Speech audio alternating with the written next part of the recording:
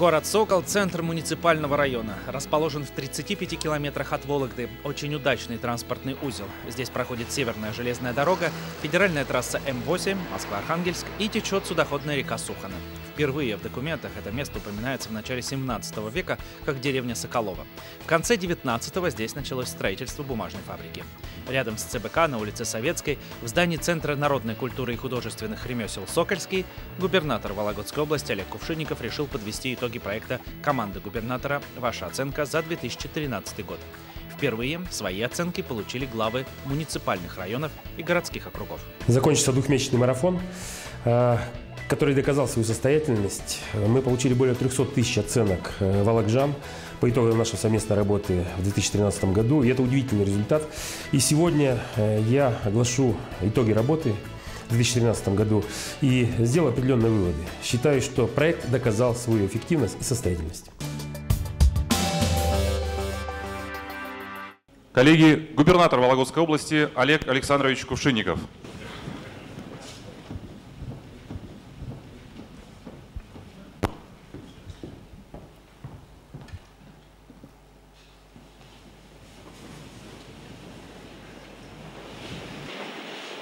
Добрый день, уважаемые коллеги.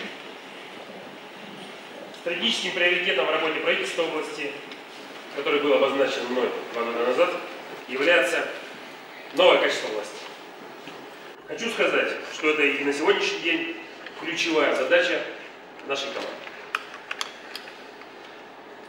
Не отключаться от выбранного курса помогает, конечно же, проект команды губернатора «Ваша оценка». Это проект, возможность посмотреть на себя со стороны, глазами молодежи. Здесь все за и против, и принять правильное управленческое решение. Итак, по результатам оценки самой критикуемой сферой в жизни волокжан, по всеобщему мнению и на основе полученных оценок, является сфера коммунального и жилищного хозяйства. Причем в глазах населения наибольшей критике подверглись несколько департаментов, входящих в этот сектор. Это региональная энергетическая комиссия области, департамент топливно-энергетического комплекса, государственная жилищная инспекция департамент строительства и жилищного коммунального хозяйства области. Я полностью разделяю мнение Вологжан.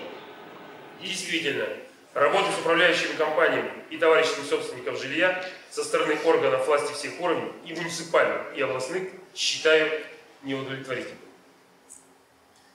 Нужно организовать правильное конструктивное взаимодействие всех ответственных и заинтересованных сторон для создания благоприятных условий для населения. И не нужно во всем винить только управляющие компании. Об этом я говорил год назад и вынужден вернуться к этому и сейчас.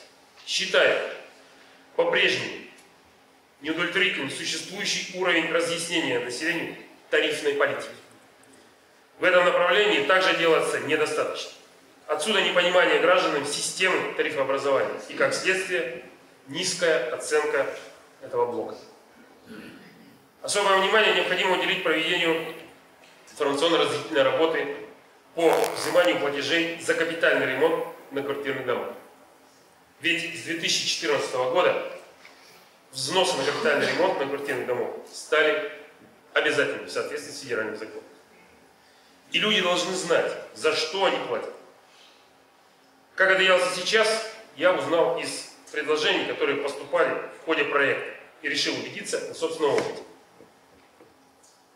Вчера зашел на сайт Департамента строительства и жилищно-коммунального хозяйства э, в раздел «Новая система ремонта многоквартирных домов в Вологодской области».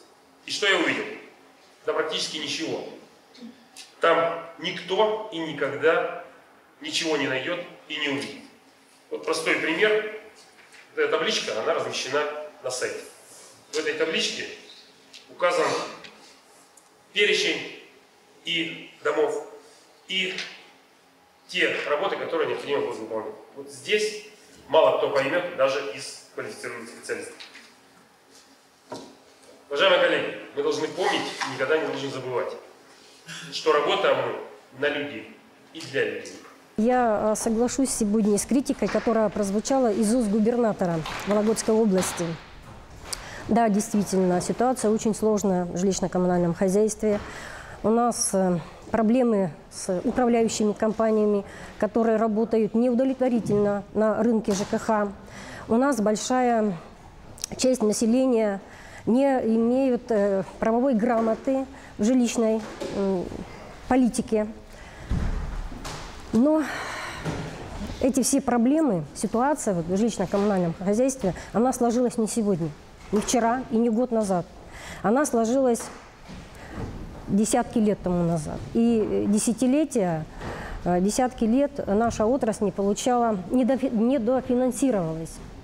В результате чего у нас износ инженерных коммуникаций более 50%, износ жилого фонда.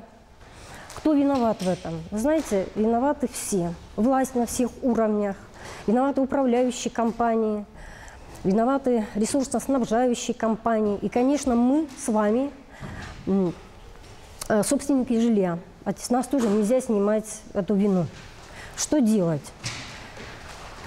Ой. Конечно, за один год, за два жилищно-коммунальное хозяйство не привести в должный порядок. Да?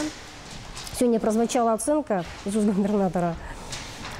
Я, конечно, может, где-то не соглашусь с этой оценкой. Она должна быть чуть-чуть, но выше. Потому что у нас, вот, если мы возьмем два последних года, да, заметно ситуация в жилищно-коммунальном хозяйстве меняется к лучшему. К сожалению, мнение населения о неудовлетворительной работе Департамента строительства и жилищно-коммунального хозяйства области также подтверждается итогами проверок данной сферы со стороны региональных и федеральных контрольных органов.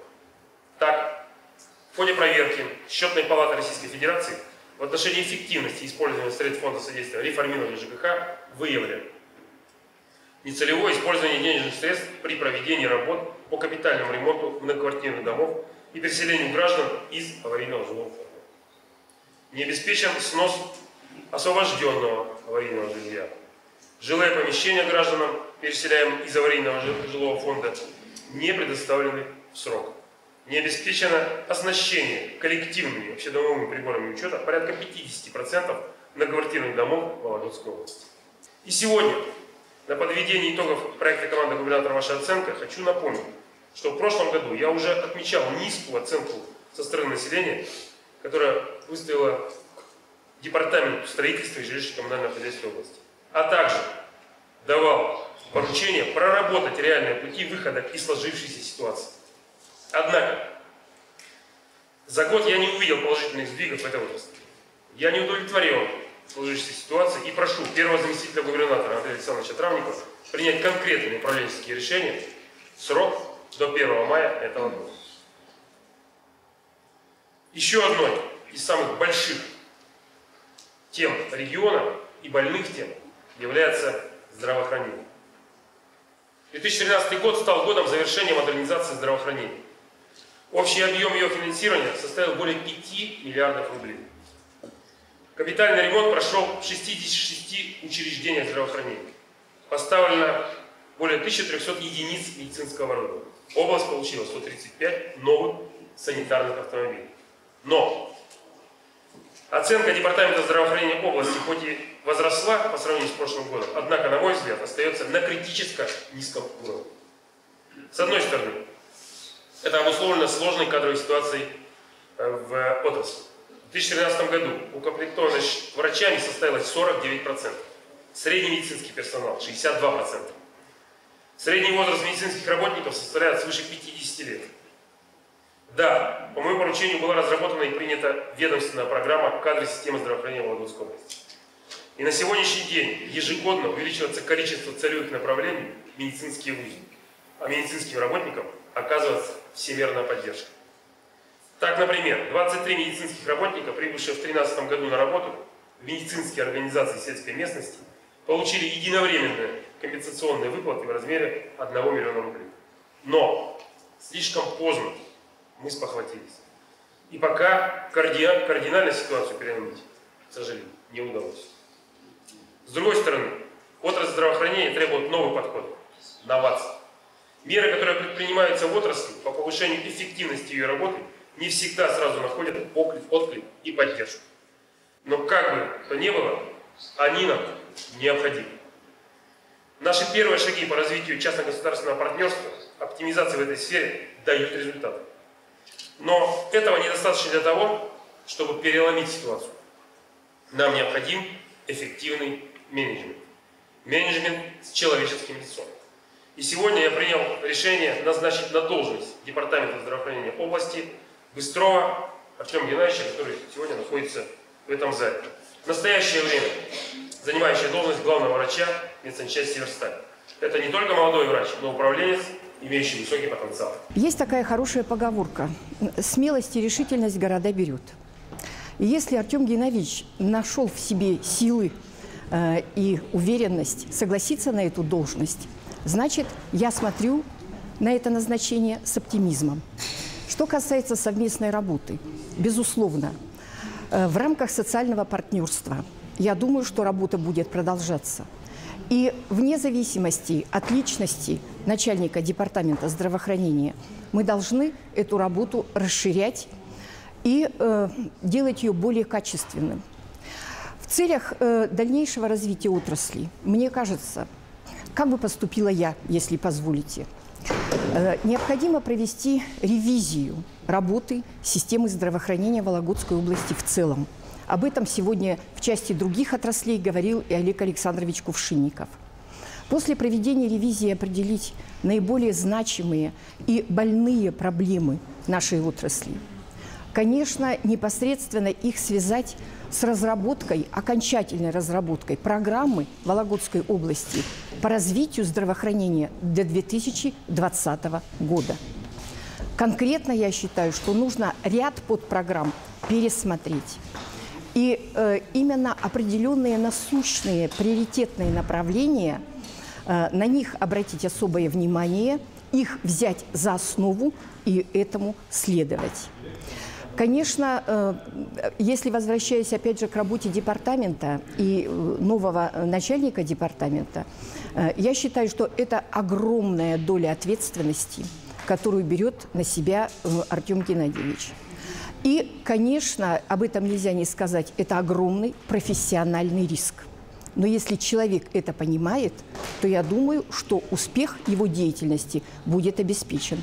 Я со своей стороны хочу лишь пожелать, как всегда, честно и верно служить. Служить отрасли, служить системе здравоохранения с одной стороны, населению по охране здоровья с другой стороны и, конечно, работать на благо работников отрасли. И, наверное, будет хорошо, потому что э, молодой человек, потому что возраст еще молодежный, э, и много энергии, есть действительно потенциал. Э, и, э, я бы сказала, отсутствует налет бюрократии и формализма. Вот это тоже меня в какой-то мере воодушевляет на совместную работу с новым начальником департамента.